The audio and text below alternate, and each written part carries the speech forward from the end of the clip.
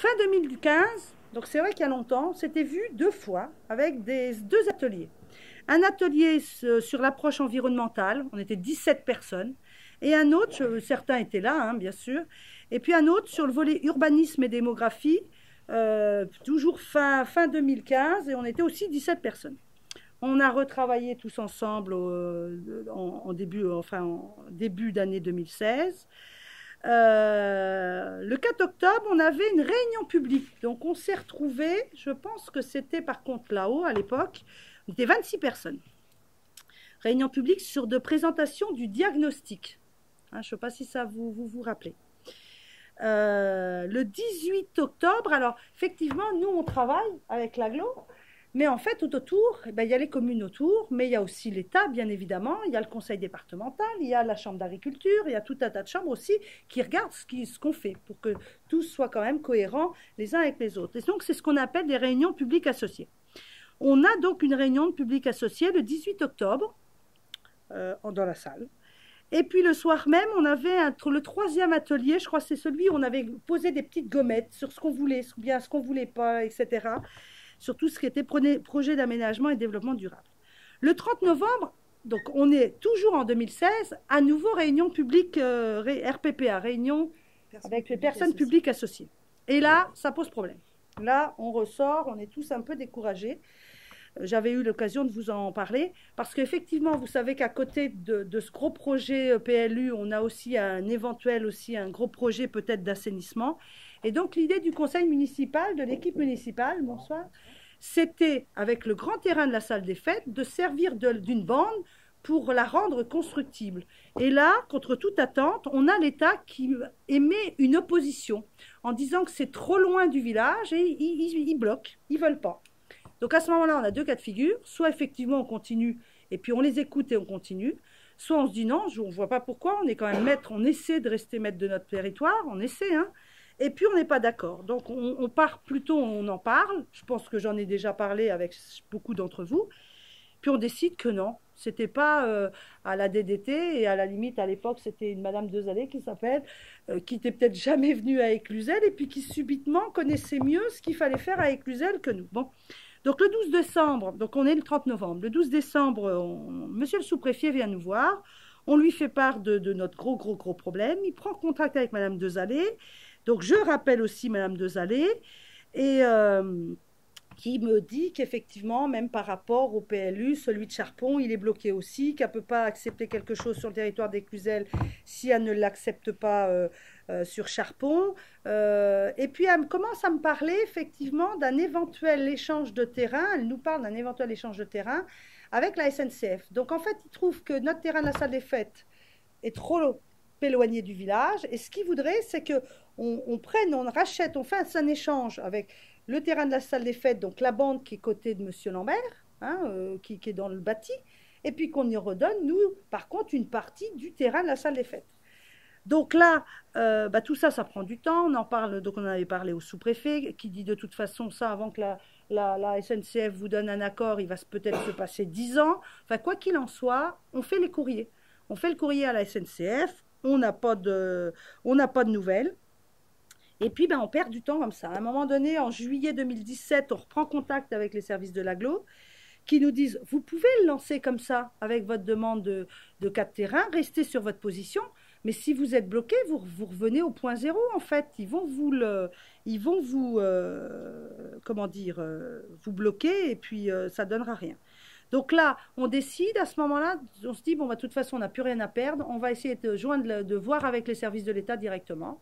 Et puis on, on, essaye de pousser au niveau de la SNCF. Sauf que tout ça, là, on est en juillet, mais tout prend beaucoup de temps. En fait, on ne croirait pas, mais tout prend du temps les choses se débloquent un petit peu euh, début 2018, où là, on a un rendez-vous ici en mairie. Alors au départ, moi je croyais que c'était le. Je ne sais pas si Madame Desmoulières. Ah oui, je ne vous ai pas présenté. Je vous ai présenté après. Je ne sais plus si Madame Desmoulières se souvient. Moi, j'attends le responsable de la TDT. Et, et, et, Madame Desmoulières et, et Madame Cabane qui s'occupaient du, qui de notre PLU euh, viennent arriver un peu avant. Ils me disent non non, c'est la responsable du, enfin c'est même pas la responsable du service. J'attendais Monsieur de Franlieu et en fait, c'est. Euh, alors, Madame Siro, c'est une. À l'époque Elle est responsable de la planification sur, euh, sur le périmètre de l'Eure-et-Loire. Mais elle n'est pas. C'est pas une décisionnaire. C'était vraiment pas une décisionnaire. Donc là, c'est vrai que je tombais un peu. de- Pardon? Non. Mais, c'est, mais moi, je m'attendais quand même à avoir en face de moi un responsable de, de la DDT, etc. Et là, non, contre toute attente. Alors, c'est vrai que sur le coup, j'étais un peu découragée. Et puis après, je dis, bon, de toute façon, on y est. 16 janvier, je dis, on y est, on y est. Alors, la petite dame, elle était, la table était positionnée autrement. La dame complètement coincée comme ça. Et puis, au bout d'un moment, j'ai de toute façon, on n'a plus rien à perdre. Et là, je lui dit, je dis, voilà, on a fait une étude. On parle effectivement d'assainissement. Je dis, on a fait une étude d'assainissement. Vous avez acheté une maison à Éclusel il y a 10 ans. Ça fait 10 ans que vous payez un emprunt. Vous avez encore 10 ou 15 ans à faire derrière.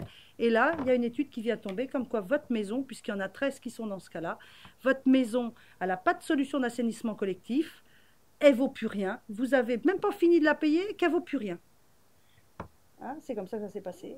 Et là, eh ben, elle a commencé à ouvrir un peu les bras. On a commencé un petit peu à discuter, à voir comment on allait peut-être pouvoir trouver un aménagement pour pouvoir euh, pour pouvoir débloquer la situation et rendre constructible la partie de, une partie du terrain des sports. Faut pas que j'en dise plus parce que je vais, pas de- hein, je vais m'arrêter là. Donc après, il y a quand même eu de nombreuses réunions parce que bon, on a débloqué le 16 janvier. Moi, j'ai repris contact avec le sous-préfet et, et ça s'est vraiment débloqué le 27 février. Mais c'est vrai que tout ça, ça fait quand même presque quatre ans qu'on y est. Et je comprends aussi votre impatience, peut-être à vous, parce que moi, je la connais aussi de mon côté, parce qu'on a l'impression que bah, il n'y a rien qui avance et il faut toujours se battre. Alors, je commence, en fait, je n'ai pas commencé par ce qu'il fallait. J'aurais dû vous présenter Séverine Desmoulières, euh, que certains d'entre vous connaissent déjà, qui est, beaucoup, qui est déjà à plusieurs reprises intervenue sur la commune d'Éclusel, qui m'a beaucoup aidé, euh, qui est en charge du service administration du droit des sols Urbanisme. et urbanisme voilà, intercommunal à l'aglo.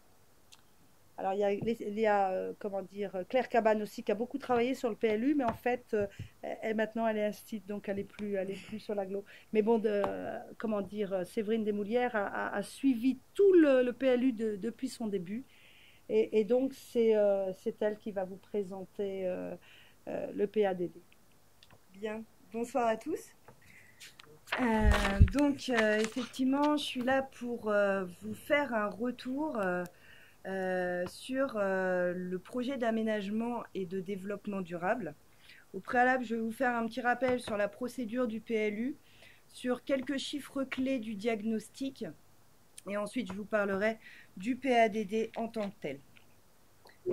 Donc, euh, les différentes étapes du PLU, donc comme Madame le maire l'a rappelé au démarrage, lorsqu'on fait un PLU, il faut d'abord faire un diagnostic du territoire, un état initial euh, et un état initial de l'environnement, puisque euh, c'est de ce diagnostic que va, que va découler le projet d'aménagement et de développement durable de la commune.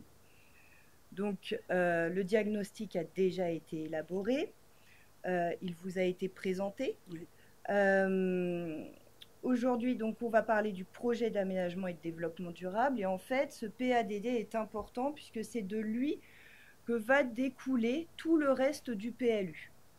Donc, euh, c'est-à-dire que une fois que le conseil municipal aura débattu euh, sur ce PADD, on enchaînera avec euh, la rédaction des orientations d'aménagement et de programmation, les documents graphiques avec les, les plans de zonage, les emplacements réservés et les servitudes, le règlement qui s'appliquera à chacune des zones telles qu'elles auront été définies. Et une fois que ces trois, documents-là ont- auront été euh, élaborés, euh, le conseil municipal se réunira de nouveau pour arrêter le PLU et soumettre ce document à l'enquête publique, c'est-à-dire à votre avis, sous la houlette d'un commissaire enquêteur qui rendra son rapport donc ensuite et le conseil municipal se réunira une dernière fois pour approuver le document. Ensuite, il deviendra applicable. Donc sur les chiffres clés du diagnostic, euh, on voit que euh, la commune d'Éclusel a euh, une croissance démographique qui est quand même constante, bien qu'elle se stabilise, puisque euh, selon les derniers chiffres de l'INSEE, au 1er janvier 2018, il y avait 173 habitants. Donc on voit que depuis 2012, on est plutôt à la stabilisation. En revanche, on, note aussi qu'il y a eu une croissance démographique importante durant la période de 1968 à 1999 où la population a quasiment doublé.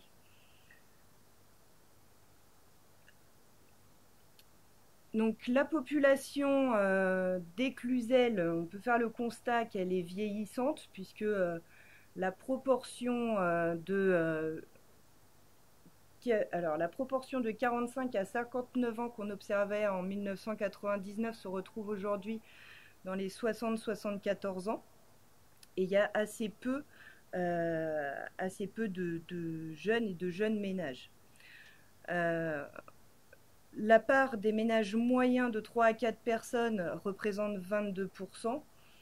Et euh, la part euh, des petits ménages de une ou deux personnes est la part qui est vraiment la plus représentative de la population. Sur euh, le parc de logement, donc logiquement avec l'augmentation de la population qu'on a pu évoquer tout à l'heure, il y a aussi une croissance continue du parc de logement avec essentiellement des grands logements, puisque les 4 et 5 pièces représentent 84% euh, du parc de logement. Donc on se rend compte aussi que euh, la population, même si les ménages sont petits, vit dans des logements plutôt confortables. La part des résidences secondaires, elle a diminué. Et pour ce qui est des logements vacants, c'est une stabilité sur la dernière décennie. Au niveau de l'activité économique, euh, on a quelques, entreprises sur la commune et, arrêtez-moi si je me trompe, une seule euh, activité agricole. C'est ça.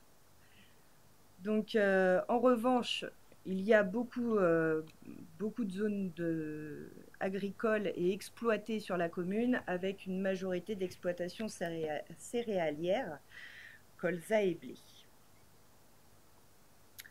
Au niveau du tourisme, la commune euh, est plutôt bien dotée en termes de tourisme euh, au vu de sa configuration géographique et, euh, de sa population. Hein. Si on fait un ratio, toutes les communes ne sont pas autant dotées, notamment avec le circuit de randonnée du plan d'eau de Mézières et Cluzel, qui est quand même pour partie sur votre territoire. Il y a aussi la présence de chambres d'hôtes et puis les activités qu'on peut trouver autour du plan d'eau.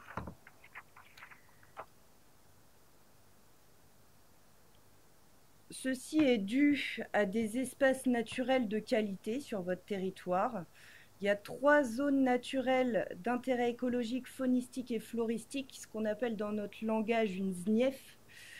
On en retrouve trois sur euh, le territoire de votre commune. Elles sont représentées en vert clair, vert foncé. Euh, et on a également une, euh, une zone Natura 2000 qui se situe sur les coteaux.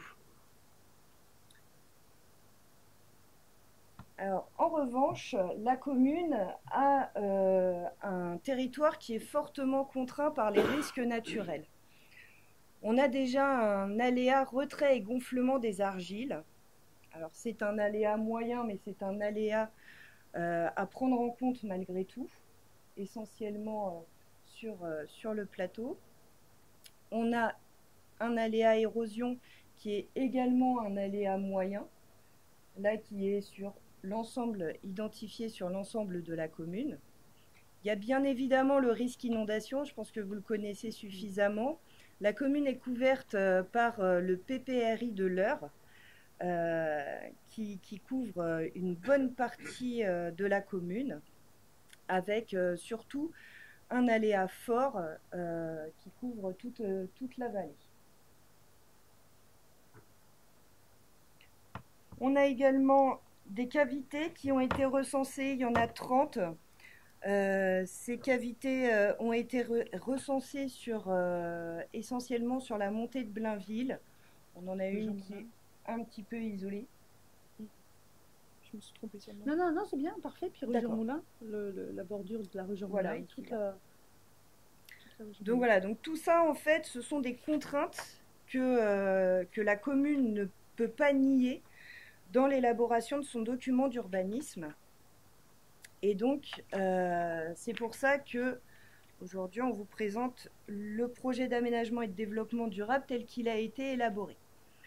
Donc, qu'est-ce que c'est un PADD Donc, euh, c'est un, projet euh, de la commune dans un cadre de référence dans le temps pour le développement communal. Il définit les orientations générales à suivre concernant la politique d'aménagement, les équipements, l'urbanisme, la protection des espaces naturels, agricoles et forestiers, l'habitat, etc. Et puis, développement durable, en fait, sont les enjeux pour un développement durable de la commune qui concilie préservation de l'environnement et nécessité de développement communal. Donc, c'est de ce document-là euh, que découleront les OAP, le règlement, et les documents graphiques dont je vous ai parlé tout à l'heure, le zonage, les servitudes, etc. Donc le PADD de la commune euh, se développe en quatre axes. Euh, le premier, préserver l'identité paysagère communale et respecter l'architecture traditionnelle locale. Le second, maîtriser la croissance démographique et l'urbanisation dans une optique de maintien du cadre de vie d'éclusel Soutenir l'activité agricole, touristique et l'économie locale représente l'axe 3. Et enfin, la promotion d'un fonctionnement équilibré entre les différents modes de déplacement. Donc, dans ces axes, il y a des objectifs à atteindre et des orientations à prendre pour atteindre ces objectifs. Sur euh, la préservation de l'identité paysagère communale, euh, le premier des objectifs est de préserver les grandes entités paysagères qui font l'identité de la commune. Ça passera par euh, assurer les transitions paysagères entre les espaces construits les espaces naturels et agricoles, sur la préservation des points de vue remarquables. Le deuxième objectif est de contribuer à la préservation des continuités écologiques identifiées sur la commune.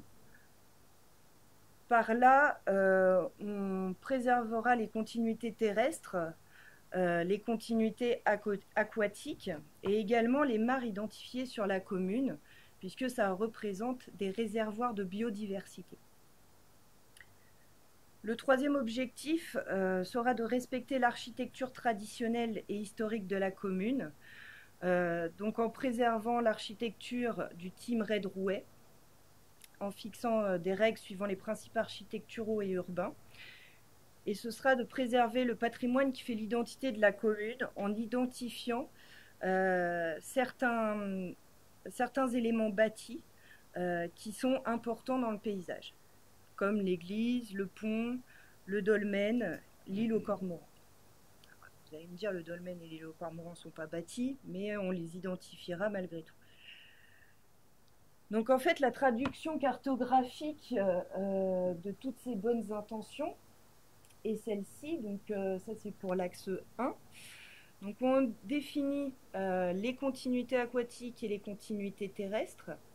On identifie les espaces agricoles, boisés, bâtis et les autres espaces naturels à préserver. La zone Natura 2000 et les NIEF devront être également euh, préservés, donc euh, ils sont identifiés. Et puis, euh, on s'assurera de préserver aussi les points de vue remarquables qu'on peut avoir aux différents endroits de la commune. Au niveau de l'axe 2, donc, on a défini qu'il fallait maîtriser la croissance démographique et l'urbanisation dans une optique de maintien du cadre de vie des. Le premier objectif sera de maîtriser la production de logements pour maintenir la stabilité démographique. Donc la première orientation euh, euh, sera de maintenir malgré tout l'attractivité de la commune par le cadre de vie de qualité euh, et de maîtriser en même temps la production de logements tout en répondant aux besoins dus au renouvellement de population. Il faudra aussi euh, limiter la consommation d'espaces nouveaux par l'urbanisation. Tout ça est contrôlé, comme l'a dit Madame le maire, par les services de l'État et la Chambre d'agriculture. Et donc, euh, il faut chercher à continuer. il faut continuer à rechercher un développement de l'urbanisation au sein du tissu déjà bâti, à travers le comblement de ce qu'on appelle des dents creuses, en tenant compte des contraintes naturelles présentes sur la commune. En même temps, on préservera les espaces agricoles et naturels de l'étalement urbain. Et pour euh, la décennie à venir, la consommation d'espace euh, sera euh, de 0,32 hectares pour l'habitat, 0 hectare pour l'activité économique et pour les équipements, avec donc un objectif de modération de 1 hectare 49 par rapport à la consommation d'espace de la décennie 2005-2015.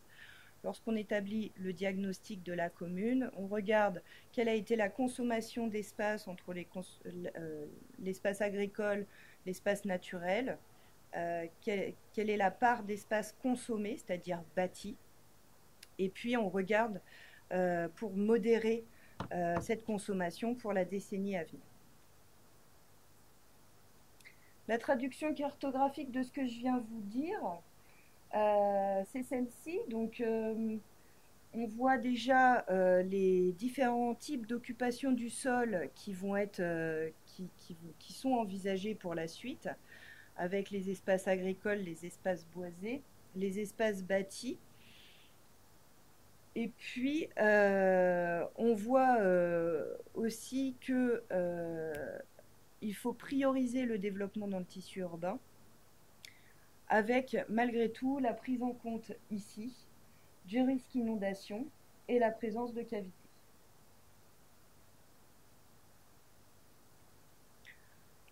Au niveau de l'axe 3, donc sur le soutien à l'activité agricole, touristique et économique, euh, le but est de soutenir l'activité agricole et économique avec euh, le maintien de l'activité du centre équestre présent sur la commune et euh, le préserver vis-à-vis du développement de l'urbanisation. On peut aisément comprendre que si on autorise des constructions se rapprocher du centre équestre, derrière ça crée à la fois des nuisances pour les nouvelles habitations et puis également pour le centre équestre il y a une, règle de réciprocité comme ça qui s'applique. On le voit tous les jours dans les journaux au moment des, récoltes, par exemple, où euh, il y a trop de poussière qui vient dans les habitations parce que l'agriculteur euh, vient, euh, vient récolter son champ.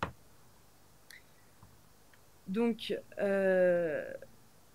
normalement, le Code de l'urbanisme indique que le PADD doit arrêter les orientations concernant notamment le développement des communications numériques. Sur la commune, il n'est pas prévu euh, une montée en débit. Et à ce jour, il n'est pas connu de projet concernant les réseaux d'énergie. C'est pourquoi ils ne font mention d'aucune orientation. Sur l'activité touristique, le but est de pérenniser l'activité touristique présente sur le territoire communal et de permettre le développement d'un tourisme rural en complément de l'offre déjà existante, notamment en lien avec le plan d'eau, le patrimoine, le paysage, etc. La traduction cartographique est celle-ci. Donc, euh, on retrouve les différents types d'occupation du sol euh, et on a identifié euh, les activités à maintenir pour, pour l'activité locale.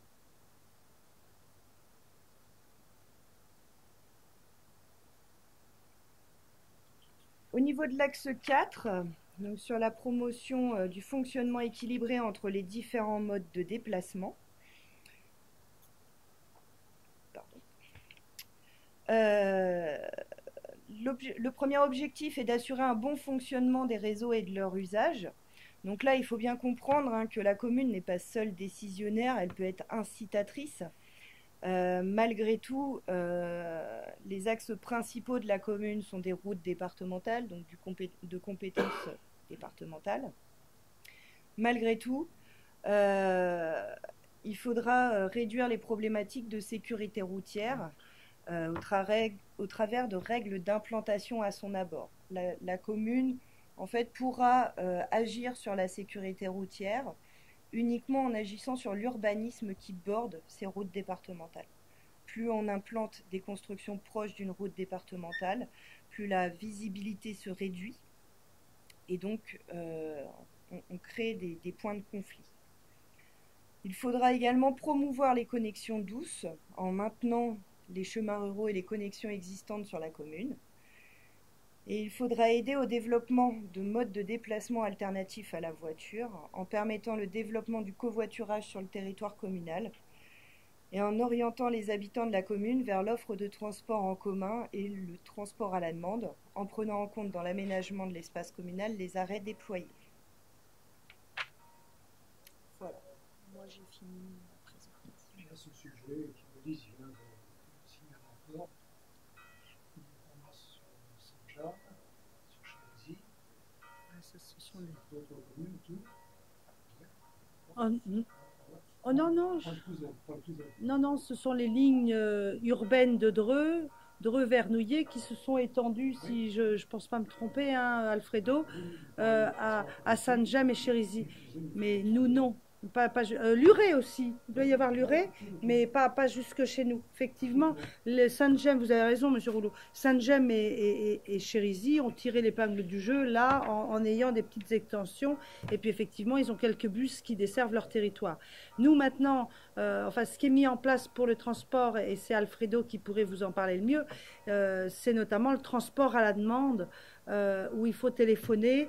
Alors, pas le, peut-être pas le jour pour le lendemain, donc il faut un petit, un petit euh, laps de temps, mais euh, ils mettent à disposition des petits bus qui viennent chercher. Alors, principalement, ce sont. Ah oui, sur Éclusel, il y en a un. Il peut, il peut y avoir. Je ne sais pas si des gens l'ont déjà utilisé. Hein, Madame Drouin, vous l'avez déjà utilisé. Hein, c'est ça. Alors, vous dire que ça fonctionne, alors c'est une initiative qui date de, il y a deux ans peut-être, deux ans, je dirais. Donc, ça doit être 2 euros du trajet. Et alors, il y a des horaires, hein, ils viennent pas à n'importe quelle heure. Et alors, ils font dans un sens, ils nous emmènent vers certains sites de Dreux et ils ramènent les éclusélois. euh, Et, et il y a des horaires un petit peu, c'est pas euh, tout à fait comme on veut. Mais euh, bon, ça permet effectivement, il y a déjà cette possibilité. Et, et c'est vrai que s'il y a de plus en plus de demandes, le, le- la commission transport, de toute façon, travaille là-dessus, est vigilante et essaie de, de proposer toujours des choses nouvelles. Il y a des nouvelles choses là qui se. Alfredo Nous, on n'a rien. 2020, 2020, ouais. Voilà, c'est ça.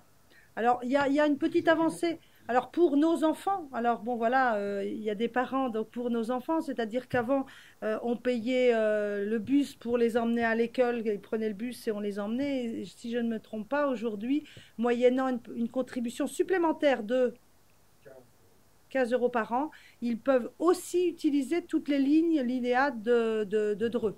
Dreux, Luret, euh, Chérisy, Saint-Gemme, comme vous disiez, Vernouillet. Pour le transport, vous parliez des, lignes de rallongées. Oui, Quand on voit que euh, les lignes étaient rallongées jusqu'à Nonancourt Saint-Rémy, à la part. qui était à 30 km d'ici, Mm. et pourquoi il n'y a pas une ligne qui va d'ici à maintenant À je- Bah, Ben, il y en a une, euh, oui. hein. Parce qu'il y en a une dans le cadre, euh, au, au niveau du conseil départemental, il y a toujours eu celle qui passe dans le, le- qui relie nos gens maintenant. Ouais, Celle-ci, les- c'était, ouais, Rémi. Voilà, c'est Rémi. Ouais. Ouais, c'est ça. Alors après, je sais pas sur Nonancourt, qu'est-ce qui est fait de plus? Parce que là, moi, je connais pas sur Nonancourt. euh, Il y a plus, il y a une desserte plus importante? Ah oui, oui. Ouais. Ouais, C'était dans le journal la semaine dernière. Ouais, j'ai pas. euh, J'ai-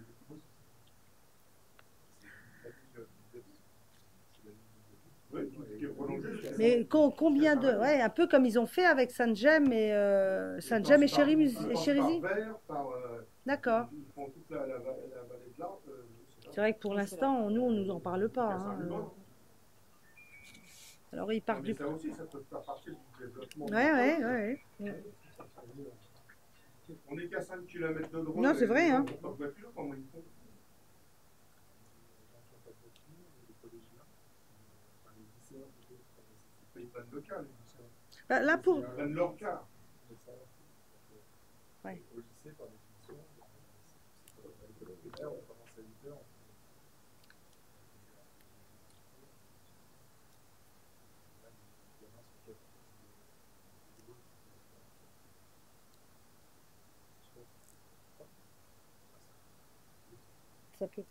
c'est c'est pas, pas facile. Là, je ne vais pas vous donner un chiffre parce que j'ai peur de vous dire de grosses bêtises, mais euh, la commission transport, c'est une commission avec un budget énorme, avec euh, une subvention encore du budget général vers le, transport. Bon, moins maintenant parce que depuis deux ans, il y a le versement transport, c'est-à-dire que toutes les entreprises de plus de 11 salariés ou collectivités de plus celles de, de 11 salariés paient le versement transport à hauteur de 1,01 de leur 0,5 de leur masse salariale. Donc ça, ça a amené quand même un peu de sous au niveau de la commission transport. Mais le transport, c'est vrai que c'est, c'est euh, bonsoir, c'est, euh, c'est une commission euh, pas chère, c'est pas ça que je vais dire, mais il y a des services aujourd'hui qui sont mis, qui ont été mis en place, qui sont pour la plupart les services qui existaient sur les différentes communautés de communes et puis qui ont été rassemblés.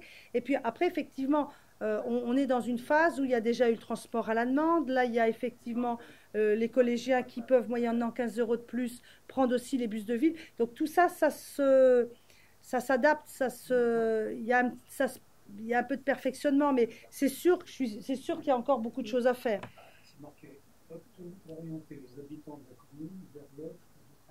Voilà, c'est ça. Et-. Transport en commun et, et transport à la demande. Transport en commun, pourquoi? Parce qu'on a quand même un bus qui passe, le Rémi, enfin l'ancien Transbos. Oui, mais bon, enfin voilà, il, il est là quand même. Et, et puis le transport à la demande, qui est vraiment un vrai plus pour le coup.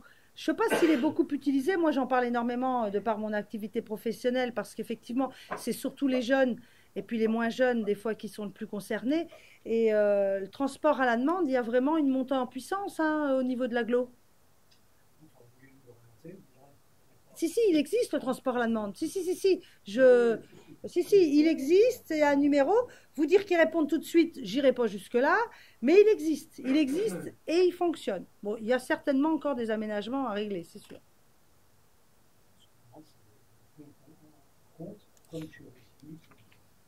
Je note. Je vais en faire part. Euh, ça a raison, c'est vrai que c'est assez connu que de voir la proximité ne soit pas sur la même donc que ça Parce que J'entends. Je sais pas ce qui fait que ça. Euh, moi, je pense que c'est parce qu'il y a beaucoup lotissements qui se construisent notamment à Bah oui, c'est ça. C'est, ce que j'allais dire.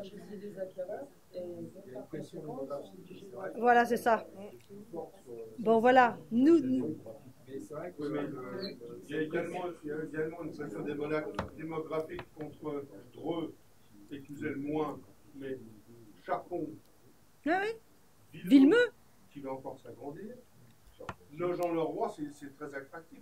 Vous prenez maintenant les, ne serait-ce que les banques qui sont parties de Villemeux, Ouais. ouais. Nogent-le-Roi. Oui. Oudreux. Ça serait comme au moins pratique qu'ils aillent jusqu'à Nogent-le-Roi.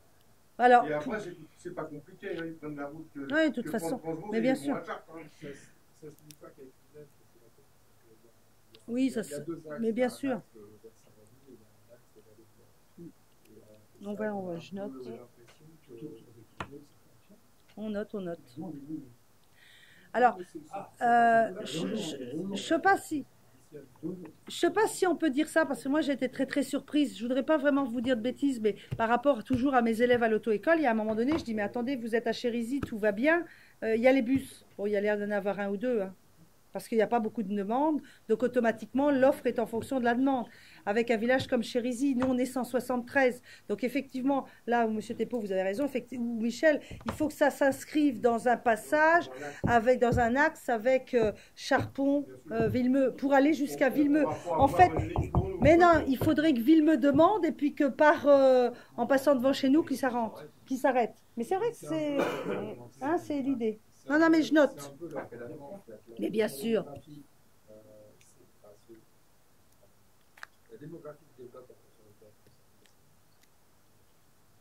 vrai.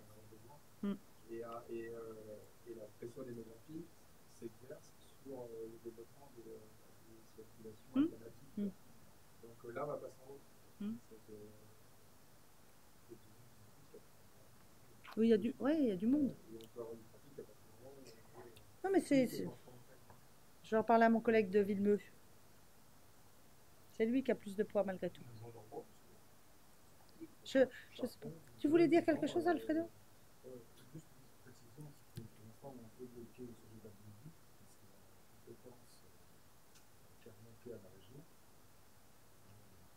Ah c'est le Rémi, ça? L'ancien Transbos, qui est le Rémi.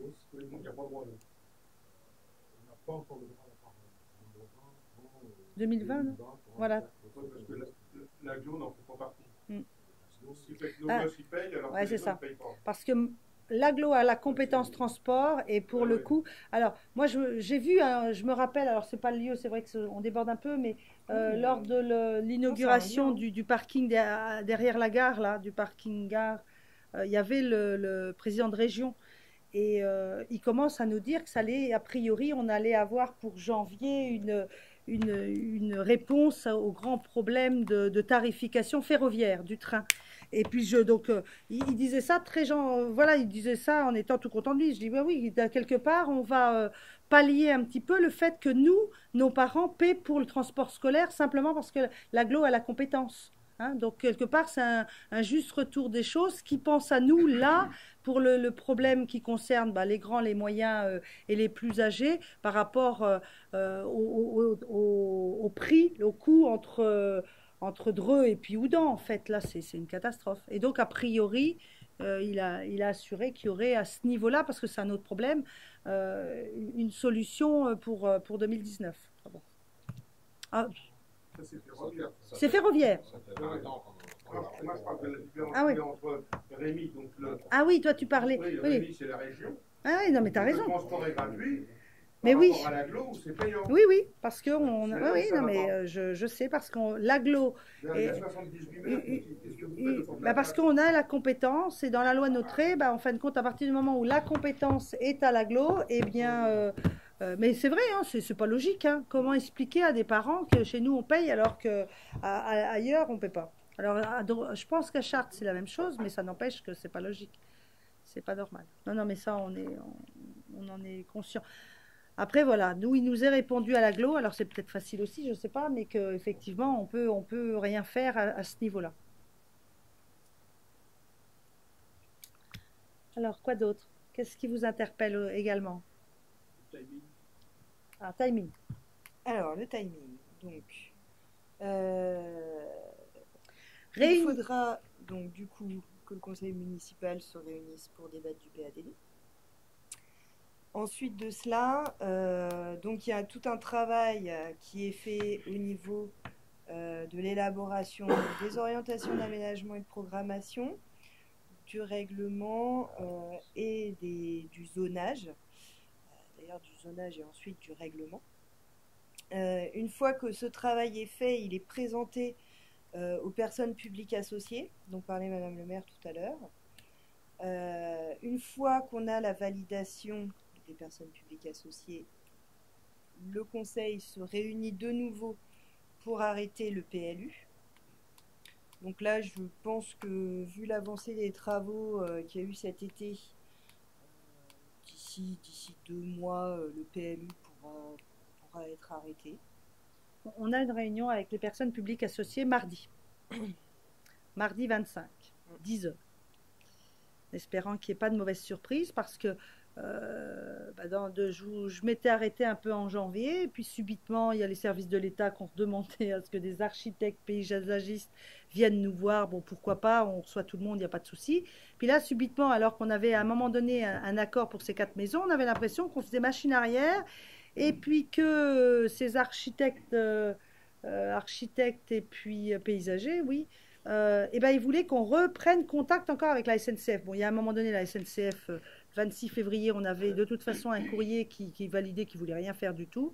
Enfin, qui voulait pas d'échange, qu'il n'y avait pas d'échange possible. Mais à un moment donné, on a senti qu'ils voulaient quand même qu'on reprenne contact. Donc là, on a dit stop. Il y a un moment donné, vous avez dit oui. On a avancé, nous, dans notre procédure. On va pas faire comme ça. On a déjà perdu un an et demi quasiment. Et euh, au départ, on a laissé faire un peu. Puis bon, il y a un moment donné, on a dit stop. Là, c'est bon, on a été gentil, mais bon, faut qu'on avance.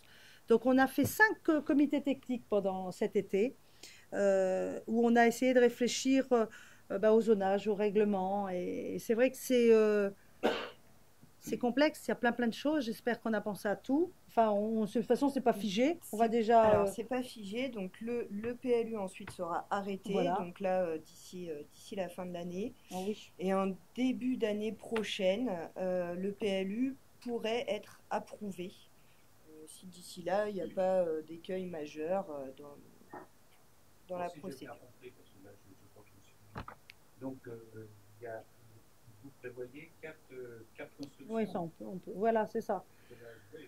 c'est pas, enfin, on, en- on, aurait bien pré- euh, on aurait bien prévu plus sur des plus grands terrains, sauf que de toute façon, il y a un moment donné, on est dans un tel, euh, on est tellement bloqué en janvier dernier qu'il y a un moment donné, il faut débloquer le système et puis il faut faire des concessions. On a bien compris qu'on n'obtiendrait pas ce qu'on voulait.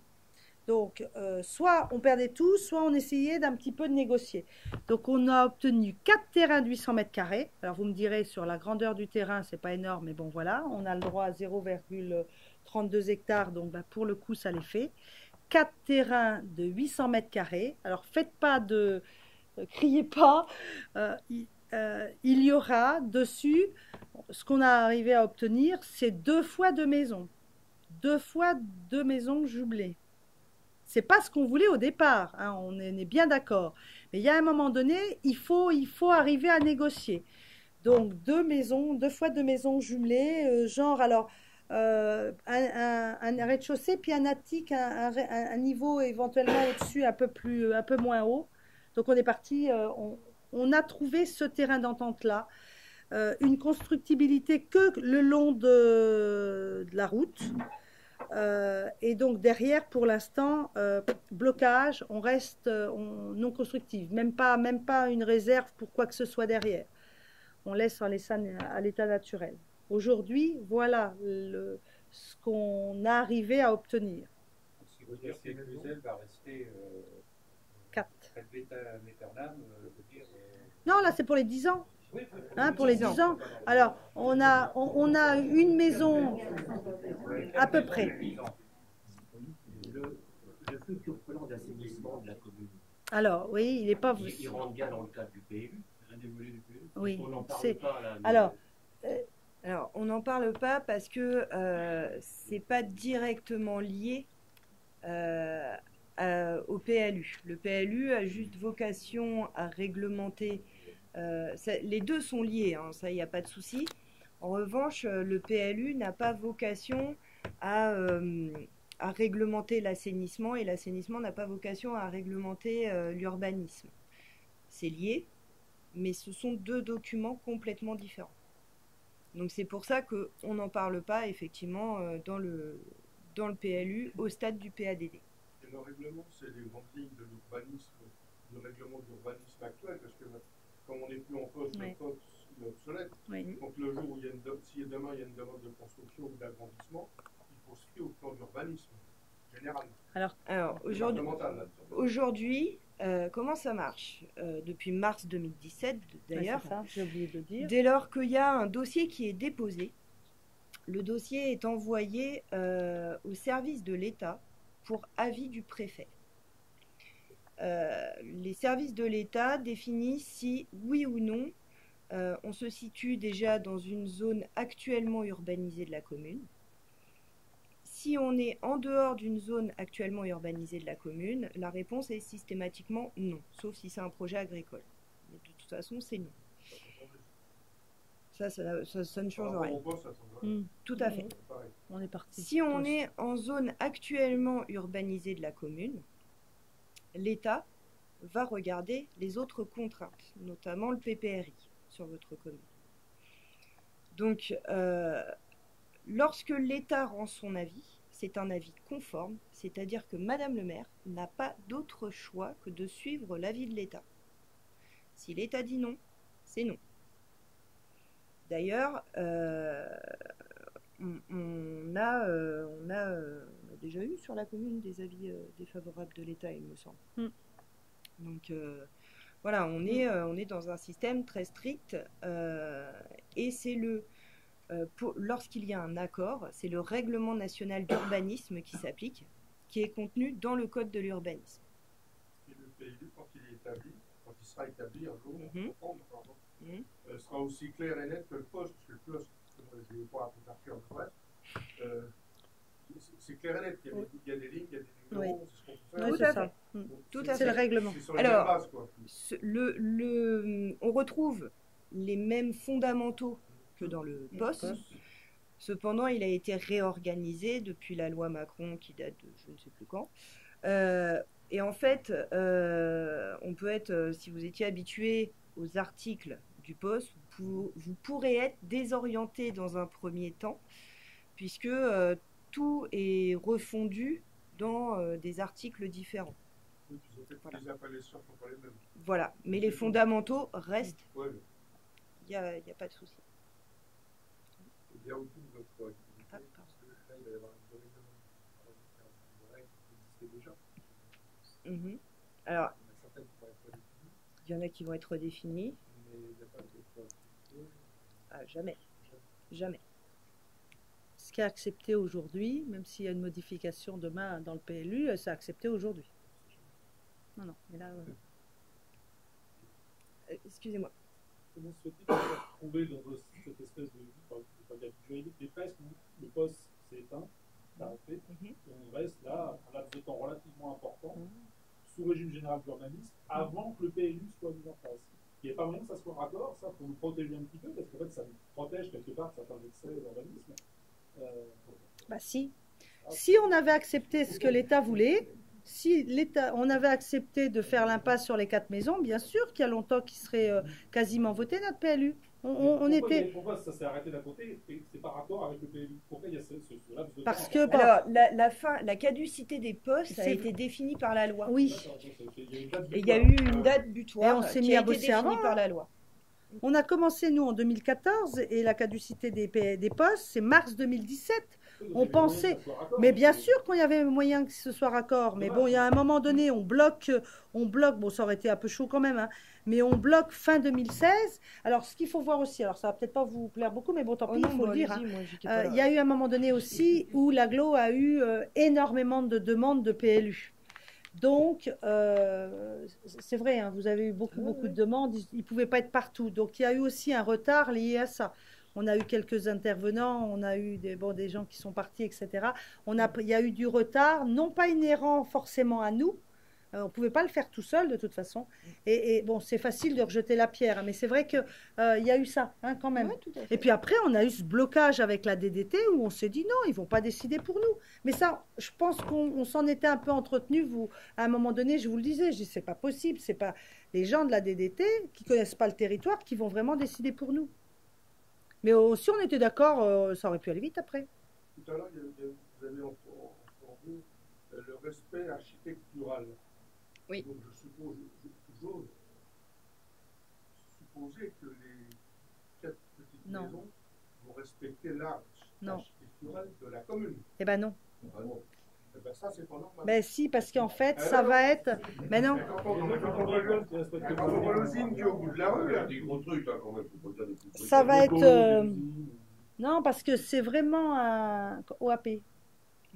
Euh, C'est comment ça, OAP déjà Orientation Oh, d'aménagement. C'est vraiment, il va y avoir le règlement au niveau du PLU et en fait le règlement qu'on a arrivé à arracher à la DDT, ce qu'on a arrivé à obtenir. Mais je vous promets que même le deuxième rendez-vous de février, il a fallu se battre. mais c'est quand même pas la DDT qui va vous dire qu'il faut qu'ils fassent comme logement. Ben oui, mais bon, le problème c'est que c'est quand Si même eux qui un peu. demandez- hein. Si vous demande de faire des cubes en béton, on va dire oui.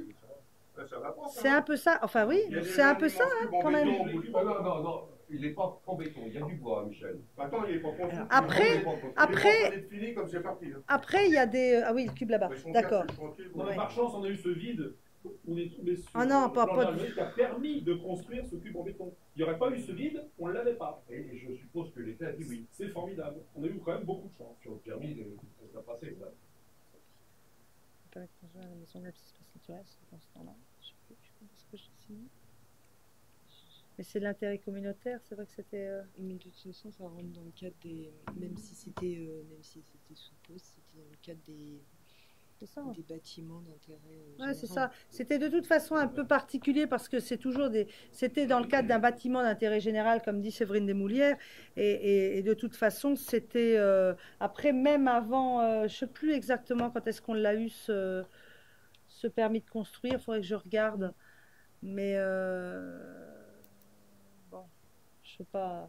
Je sais plus si c'était cette période-là, je me rappelle plus. Non, mais ça, moi, c'est un aparté que je fais parce que j'ai toujours dit que c'était pas beau. C'est pas moi qui, a- à, part- à moins que j'y mette une bombe, mais j'ai pas le droit. Mm. Euh, mais des maisons, je suis désolé, des maisons, ça devrait respecter. c'est- marqué dans. c'est Oui, marqué oui, dans- mais- Respecter l'architecte de la commune. C'est pour ça que je vous ai Qu'il soit- dit. euh, soit au terrain des ou qu'il soit dans la rue ou autre part, ça doit respecter la- l'architecture. il voulait rien. Ils Il ne voulait. vont pas nous balancer des. des Non, non, non, mais euh, non, c'est pas vraiment des algécos en fait. pareil, euh, Madame, béton, on Madame- ça. Siro, le jour où elle vient, avant de venir à Éclusel, elle passe sur le, le 116, là, le CD 116, et elle voit que du CD 116, on voit déjà la salle des fêtes qui est moche.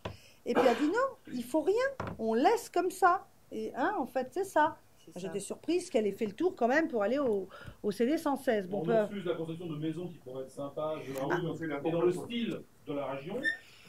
On les refuse là-haut. Par contre, on autorise un bloc en béton au bout de la rue là, dans une zone proche Bon, de Natura 2000. c'est- celle-là Et est-. Et une fois qu'on aura le PLU, on pourra plus, on pourra plus construire les 4 heures que vous allez mettre là-haut. Non, déjà, c'est pas des 4 heures. Après, Bah, ça va dépendre de, de qui achète les terrains et, et de ce qu'ils veulent en faire. Nous, il n'y a, y a rien de figé, c'est-à-dire que si les gens veulent en faire une, une maison traditionnelle en respectant les hauteurs, etc., s'ils veulent une, faire une maison de plein pied, pourquoi pas hein? Il est possible que ce soit quelque chose de très traditionnel. Ça respecte, euh, Oui, mais je peux pas te l'assurer. Ah. Si on tombe sur un architecte ou quelque chose qui a envie de faire un petit peu quelque chose qui rentre dans le dans l'OAP qu'on a qui, qui a été accepté, euh, on pourra plus s'y oppo- s'y opposer. Mais ça, ça risque d'être un peu plus moderne. La première, vous savez, la photo avec le, ce qu'on a sur notre petit, ce qu'on a sur notre. Ça? Voilà, c'est ça. En retirant le- ce qui est marqué. Ah. Ah, je sais pas. Euh, Cette photo-là, c'est effectivement ce qu'on voit du CD 116. Oui. que je l'ai. Bon, eh ben, regardez. Ah Vous oui, bien voyez sûr. des cubes en haut, vous Ah les non. verrez. Ah non, non, non, il n'y en a pas, il n'y en a pas là. Bon, ça sera plus à droite, mais ça sera pareil. Bon, ben, même, du, même avec des jumelles, je sais plus, avec un Mais- mais objectif, c'est pas moche à regarder. Non, non, non, tu as, t'as raison. Alors après, effectivement, il y aura de toute façon un, un- un effort, euh, un aménagement paysager tout autour. On garde les, on essaie que ça se voit le moins possible. On utilise des matériaux qui se voient pas de loin, pas de blanc, pas de couleur vive, etc. Pour effectivement que ça dénature pas toute la, la continuité des arbres. du n'auraient pas dénaturé. là. Non, mais bon, après, je vous promets, je vous promets, je, je m'en suis fait, on, on sent en effet des cheveux blancs. Ça a été vraiment très compliqué. Même pendant la période des un an et demi où, on peut penser qu'il n'y a rien qui s'est fait, je peux vous dire que bah, euh, on a essayé de bouger, on a essayé de faire venir. Moi, j'en ai parlé plusieurs fois au sous-préfet, etc., pour essayer de faire, euh, de faire comment dire, avancer le schmilblick. Et à un moment donné, il fallait qu'on arrive à débloquer la situation. Ça n'a pas été sans, sans contrainte, et c'est pour ça que je savais que vous, que vous alliez pas forcément être euh, d'accord, parce que c'était pas notre volonté. Nous, la première proposition qu'on a fait, bien sûr que c'était pas ça. On a fait des ateliers, vous nous avez dit ce que vous vouliez pour le village, etc. Nous, on est resté dans cette optique-là. Maintenant, qu'est-ce qu'on fait? On a effectivement un, souci d'assainissement. Bon, je ne sais pas, c'est pas encore voté, mais bon, y a, on va voir ce qu'on va voter pour l'assainissement. Il y a un moment donné, les sous, il nous les faut. Il, nous faut peut-être 300 000 euros. S'ils arrivent pour l'assainissement, ça sera autant que tout le monde n'aura pas payé. Il y a un moment donné, il faut savoir ce qu'on veut. Soit on reste bloqué, on n'avance pas, et puis basta, ils décident pour nous et on fait rien. Soit effectivement, on, arrive à un espèce de compromis qui n'est pas celui qu'on voulait. Ils ont fait des efforts, mais il a fallu qu'on en fasse aussi. Et on va peut-être avoir nos 300 000 euros. Enfin, le but, c'est d'avoir nos 300 000 euros pour, euh, pour payer peut-être un peu moins cher l'eau. Je comprends dire sur les constructions, on a déjà une idée des hauteurs maximum Oui. euh, non. Non. Ah bah non, tant, Voilà. non, mais, euh, tant que la RPPA est pas passée, euh, non. c'est- non, hein. Même Ah à pied, non. on voit. 5 mètres. Non, tant que, la, tant que la RPPA est pas passée. Enfin, après, vous voulez.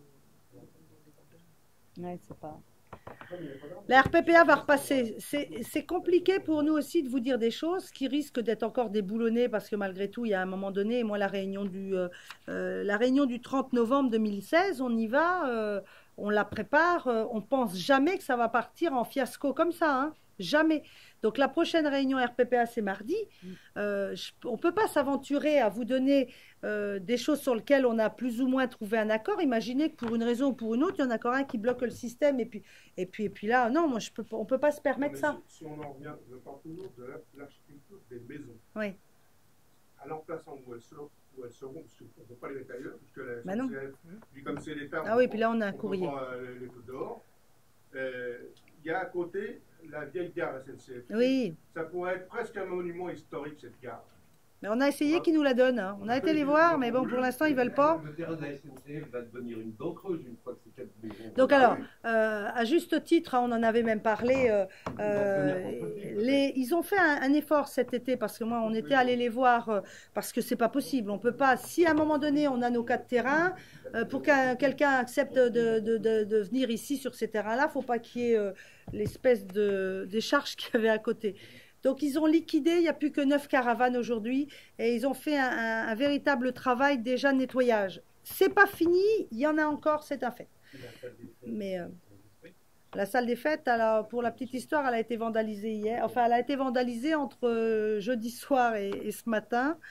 Euh, Aujourd'hui, on sait pas, on a, on s'y est pas. Il n'y a plus rien. On n'a plus d'électricité, on n'a plus. euh, L'alarme marche encore avec une pile, mais il n'y a plus, y a plus de réseau, il n'y a plus rien. C'est vrai que c'est. Il n'y a pas de commission vacuum, un truc comme ça. faudrait que je revérifie. Euh, euh. Ouais, ça. Après, voilà, la raser, l'idée, parce que j'ai essayé de. Bon, je sais pas, c'est pas d'un petit peu, on s'éloigne un peu, mais voilà, ça fait partie de notre patrimoine. hein. On n'a pas des tonnes de choses à Éclusel, on a le logement à côté, la maison de Madame Cassamo, on a un terrain où il y a le cheval là-bas, on a un petit terrain là-haut, euh, à côté de la, station, l'ancienne station où il y avait le câble. J'ai essayé de leur mettre dedans, pour l'instant on n'y est pas arrivé. Bon, et, euh, et puis on a la salle des fêtes. Alors, qu'est-ce qu'on en fait? Quid de ça? Parce que si on arrive à valoriser une partie en faisant les quatre maisons, qu'est-ce qu'on fait du reste? Donc, j'ai même fait venir les gens du département pour essayer peut-être de faire des pâturages, enfin, je sais pas, ce qu'ils veulent dans la, la partie longue là qui va jusqu'au champ de tir. Bon, ça, c'est pas possible.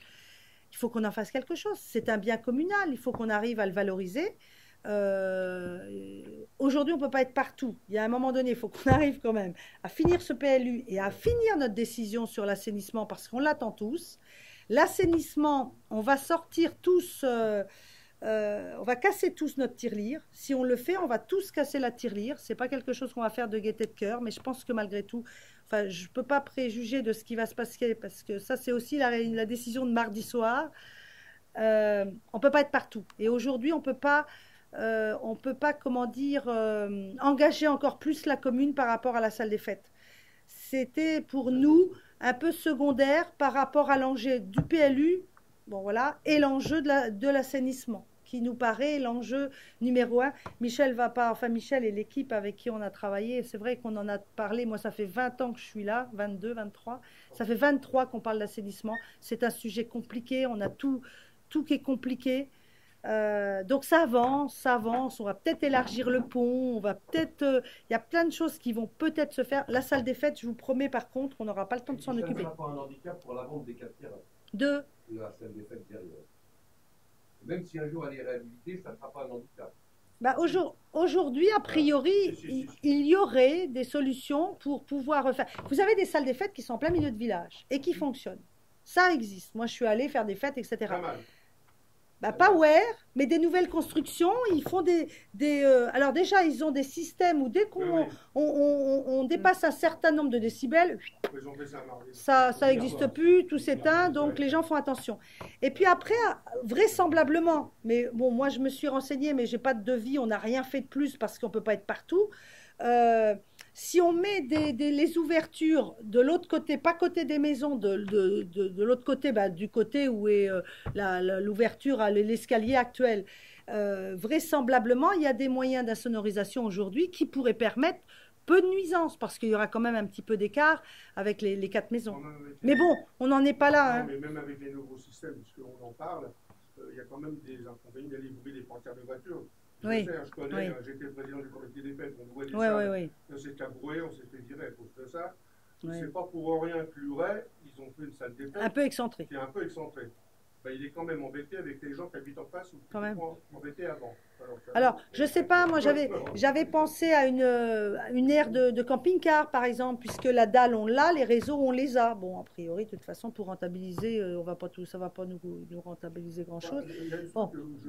J'en ai déjà de ça. De ça. Compte tenu de, de- de la mocheté du bâtiment, même s'il y a du bois dessus, qui est au du terrain, avant je l'appelais la, la, la- verrue de la rue, maintenant ça va être euh, l'usine. Laquelle, la alors rue, bah, Là. la, la- maison des En bas. Oui. Pourquoi la commune des Fusettes, en accord avec le droit d'agglomération, pourrait pas avoir un droit d'occuper, elle, elle est petite la salle qu'ils vont faire d'après les plans qu'on a vus. l'autre 100 mètres carrés. 100 mètres carrés.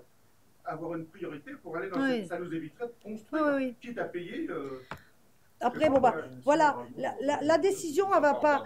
Ouais, ouais, la décision est, est- est non, pas prise. c'est- C'est des discussions qu'il faut Mais avoir si, si, si, mais on, on en a, on en a déjà parlé. Maintenant, euh, on en a déjà parlé à plusieurs reprises. Il faut que eux sachent comment ils vont gérer la maison Oui. des.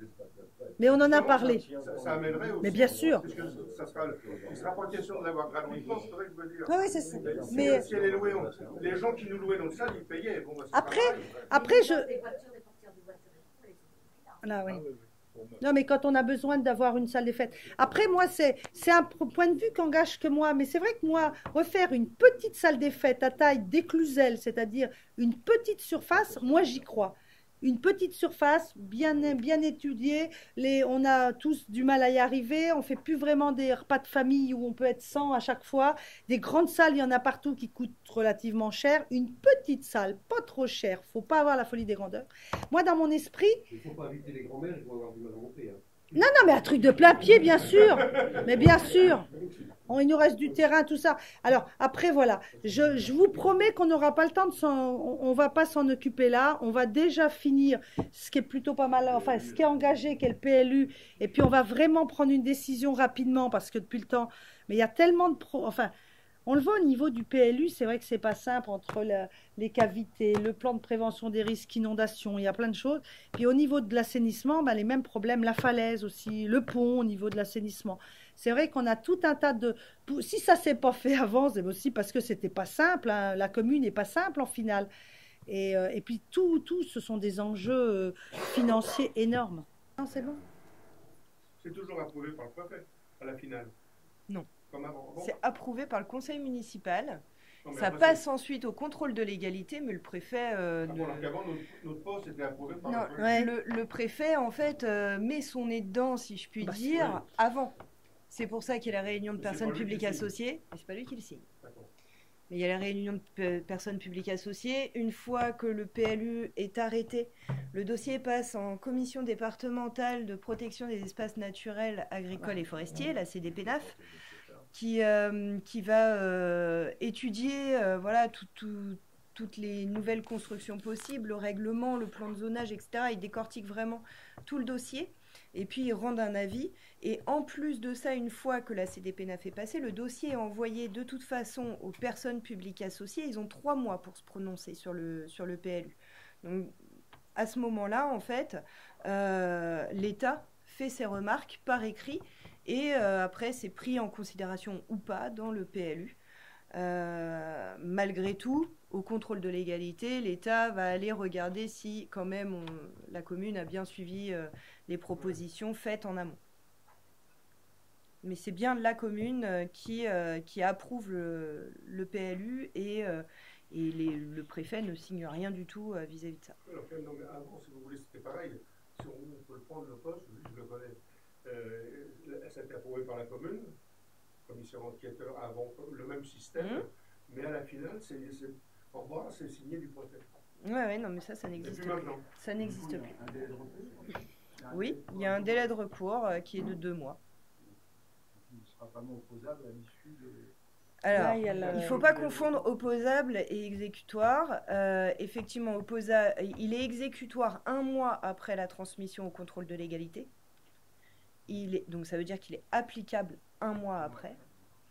Il est opposable après, euh, après un délai de deux mois, après le... ah, attendez.